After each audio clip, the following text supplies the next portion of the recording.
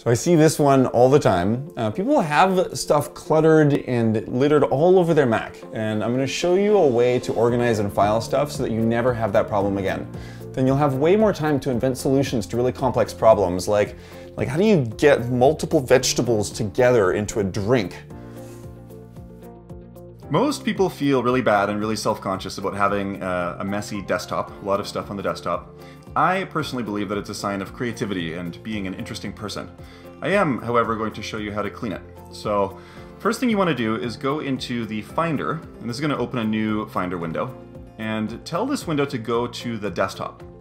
And then, most people don't know this, but you can actually open a second Finder window as well. So what you want to do is hold Command on the keyboard and press N and that's going to open a second Finder window. And I'm going to tell this window to go to my Documents folder and Business Documents. And you can put it wherever you want. I'm going to resize this a little bit so it fits on the right here. Now this is amazing because you can just drag things from left to right and clean up the desktop that way. So I'm going to take this sunset image and I'm going to put it into photos of sunsets.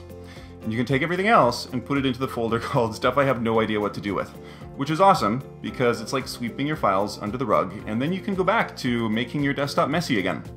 Boom, Mac Epiphany.